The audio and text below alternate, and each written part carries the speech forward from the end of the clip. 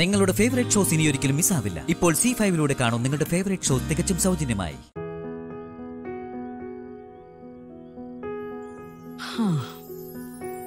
നമുക്ക് തിരിച്ച് കോഴിക്കോട്ടേക്ക് തന്നെ പോവാം മോളെ.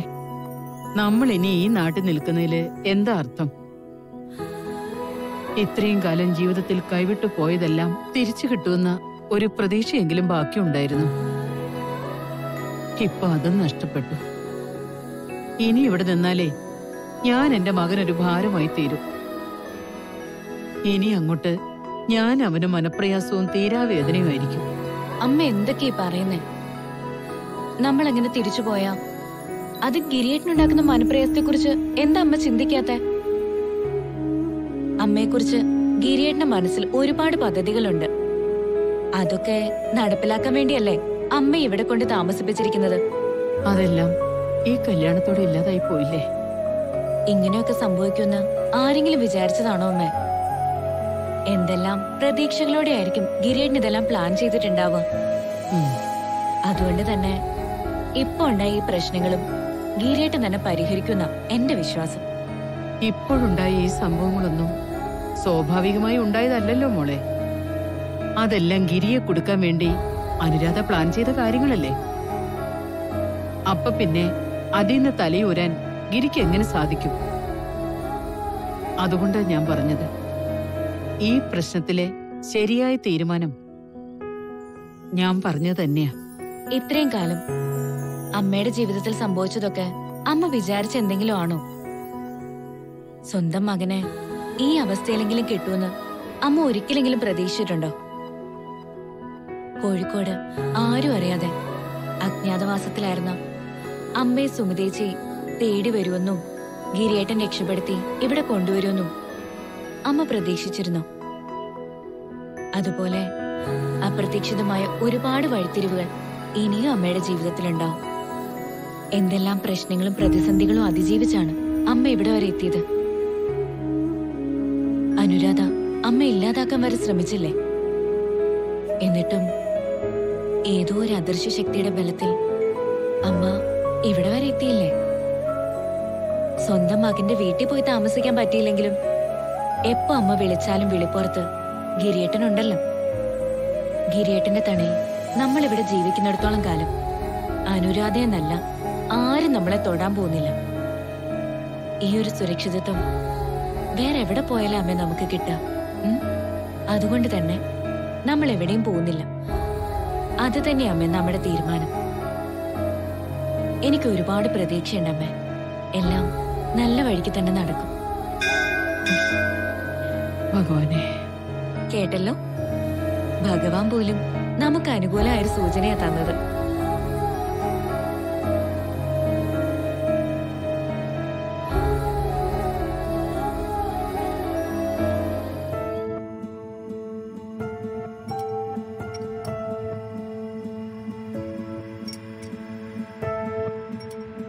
കല്യാണത്തിന് ഇനി അധികം ദിവസമില്ല. ഒരുക്കങ്ങളൊക്കെ എവിടെയായി അനുരാധേ? നമ്മളെ ബന്ധുക്കൾ മാത്രം കൂടി അമ്പലത്തിൽ വെച്ച് ചടങ്ങിനൊരു താലി കെട്ടുന്നതിന് എന്തൊരുക്കങ്ങളാ അമ്മ വേണ്ടത്? പെണ്ണിനൊടുക്കാനുള്ള മന്ത്രക്കോടി വാങ്ങണ്ടേ? കെട്ടാനുള്ള മംഗല്യസൂത്രം വാങ്ങണ്ടേ? ഇതൊക്കെ സമയത്തിന് വാങ്ങാൻ നിന്നാ ശരിയാകുന്ന കാര്യങ്ങളൊന്നും അല്ലല്ലോ. അതൊക്കെ ഏതെങ്കിലും ഒരു നല്ല ടെക്സ്റ്റൈൽ ഷോപ്പിലോ ജുവലറിയിലും പോയ അരമണിക്കൂർ കൊണ്ട് വാങ്ങാൻ പറ്റുന്ന സാധനങ്ങളല്ലേ ഉള്ളൂ അച്ഛമ്മേ. അതിനെന്തിനാ ഇങ്ങനെ ടെൻഷൻ അടിക്കുന്നേ? നീ എന്തറിഞ്ഞിട്ടാ പറയുന്നേ? അത് കടയിൽ പോയി വാങ്ങിയത് കൊണ്ട് മാത്രം കാര്യമില്ലല്ലോ. അമ്പലത്തിൽ കൊണ്ടുപോയി പൂജിക്കണ്ടേ? അത് കല്യാണം നടക്കുന്നതിന് ഒരു അമ്പലത്തിൽ വെച്ചല്ലേ അമ്മേ. ചടങ്ങ് തുടങ്ങുന്നതിന് മുൻപ് അവിടെ ഞങ്ങൾ പൂജിച്ച് വാങ്ങിയ പോരെ. പോരാ. സത്യത്തിൽ ഗുരുവായൂർ കൊണ്ടുപോയി പൂജിക്കണം എന്നായിരുന്നു എന്റെ ആഗ്രഹം. ഇനിയിപ്പോ അതിനൊന്നും സമയമില്ലല്ലോ. അതുകൊണ്ട് ചിറ്റൂരപ്പന്റെ അടുത്തെങ്കിലും കൊണ്ടുപോയി പൂജിച്ചേ പറ്റൂ. അക്കാര്യം എനിക്ക് നിർബന്ധം അനുരാധേ. അതൊന്നും ഓർത്ത് അച്ഛമ്മ പേടിക്കണ്ട. അച്ഛമ്മ ആഗ്രഹിക്കുന്ന പോലെ തന്നെ എല്ലാം നടത്താം. അതിന്റെ ഒന്നും ആവശ്യമില്ല. എല്ലാവരോടും എനിക്ക് വളരെ പ്രധാനപ്പെട്ട ഒരു കാര്യം പറയാനുണ്ട്. ഈ വിവാഹ കാര്യത്തിൽ ചില കൺഫ്യൂഷൻസ് ഉണ്ട്. എന്ത് കൺഫ്യൂഷൻ ഏട്ടാ? ഈ വിവാഹം ശരിയാവില്ല. ഇതുവരെ നടത്തിയ തയ്യാറെടുപ്പുകളൊക്കെ പോട്ടെ അച്ഛമ്മേ നന്ദിതൻ നിതീഷും തമ്മിലുള്ള വിവാഹത്തിന്റെ കാര്യം നമുക്കങ്ങ് മറക്കാം. അത് നടക്കില്ല.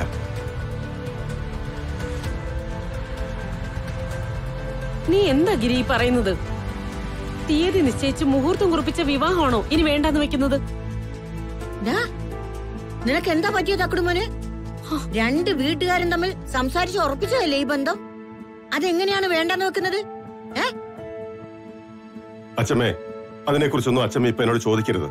ഞാൻ അങ്ങനെ ഒരു തീരുമാനം എടുത്തിട്ടുണ്ടെങ്കിൽ അതിന് എനിക്ക് വ്യക്തമായിട്ടുള്ള കാരണങ്ങൾ ഉണ്ടാവുമെന്ന് മനസ്സിലാക്കിയാൽ മതി എല്ലാവരും. ഈ കാര്യങ്ങളെല്ലാം ഇന്നലെ രാത്രി തന്നെ സുമിയോട് പറഞ്ഞിരുന്നതാ ഞാൻ. ഈ വിവരം അവരുടെ വീട്ടുകാരെ അറിയിക്കാനും പറഞ്ഞതാ അല്ലേ?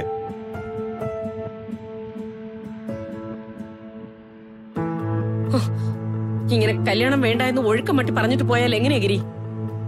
അതിന്റെ കാരണം കൂടി പറയണം. കാര്യവും കാരണവും എനിക്ക് ബോധ്യപ്പെടുത്തണമെന്ന് തോന്നുന്നവരോട് ഞാൻ പറഞ്ഞോളാം.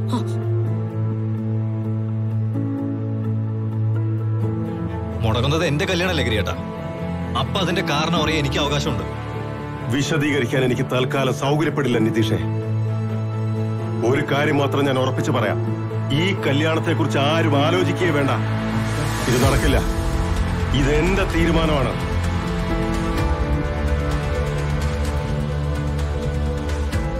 സുമിതയുടെ അനിയത്തിയുടെ വയറ്റിൽ വളരുന്നതേ ഇവന്റെ കുഞ്ഞാ. അതിന്റെ കാര്യത്തിൽ ആര് സമാധാനം പറയും വിവാഹം കഴിക്കാതെ ഗർഭിണിയാകുന്ന ആദ്യത്തെ പെൺകുട്ടിയൊന്നും അല്ല നന്ദിത.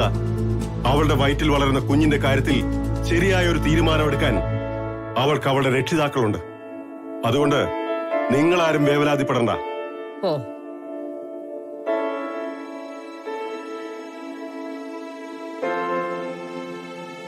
എല്ലാരും കൂടെ എന്നെ പൊട്ടം കളിപ്പിക്കണം.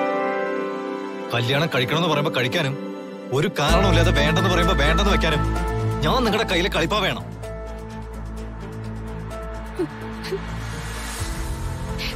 മോളെ മോളെ സുമി എന്താ മോളെ ഉണ്ടായത്? നീ എങ്കിലും ഞങ്ങളോട് തുറന്നു പറ.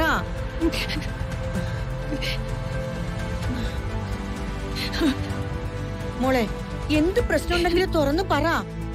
എന്താന്ന് അറിഞ്ഞാലല്ലേ പരിഹരിക്കാൻ പറ്റൂ. എനിക്കൊന്നും അറിയില്ല അച്ഛമ്മ.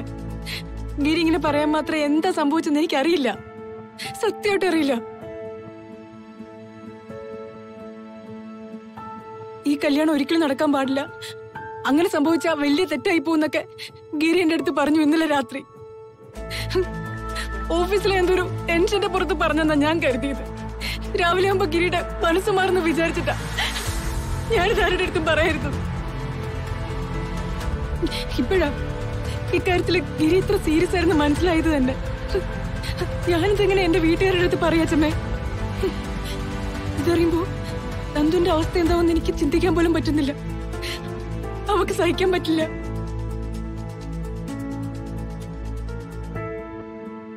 കരയാതെ മുത്തേ. കരയാതെ. നമുക്ക് അവരോട് സംസാരിച്ച് എന്തെങ്കിലും പരിഹാരം ഉണ്ടാക്കാം. ഡൗൺലോഡ് ചെയ്യൂ സി ഫൈവ് ആപ്പ് കാണൂ എല്ലാ എപ്പിസോഡുകളും സൗജന്യമായി.